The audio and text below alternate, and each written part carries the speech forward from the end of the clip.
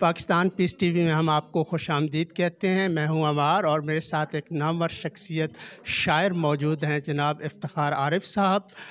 इनसे हम जानेंगे इफ्तार आरिफ साहब से कि आजकल शायरी का चर्चा सोशल मीडिया पे तो आम है। हर बंदा शायर बना फिरता है कि शायरी नौजवानों को सीखने के लिए क्या करना चाहिए, किस तरह वो अच्छे शायर बन सकते हैं?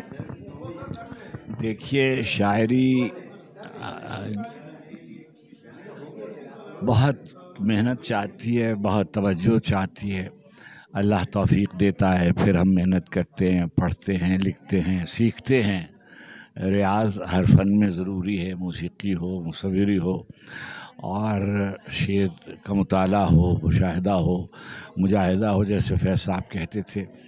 और मैं समझता हूँ कि हमारे बाद वाली नस्ल बहुत अच्छा शेर कह रही है, और मगर लोग पढ़ने की तरफ़ कम मायल हैं और उनकी भी तरबियत की जानी चाहिए और मुशायरे में और आए किताबें पढ़ें इसका कोई बदल नहीं है और वो सुकून और वो लुत्फ़ और वो नज़र जो शायरी इंसानों को फराहम करती है शायद वैसा दूसरे फ़नून में कब कम है?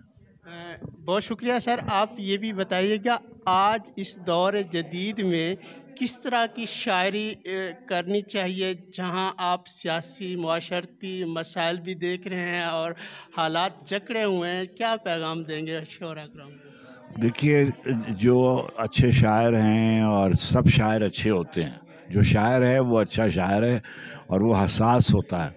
और जब हसास होता है तो ये मुमकिन नहीं है कि वो हालात हाजरा से मुतासर ना होता हो। जैसे आबो हवा है, मौसम हमें मजबूर करते हैं अपना लिबास तब्दील करने को।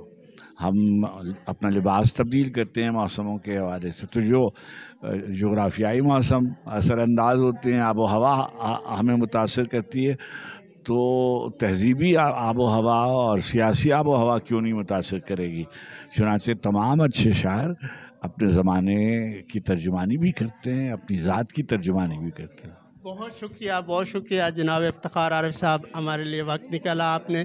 पाकिस्तान पीस टीवी देखते रहेगा, मज़ीद मालूमती प्रोग्राम आपको इस पर मिलेंगे। चैनल को सब्सक्राइब करें, लाइक करें, शुक्रिया।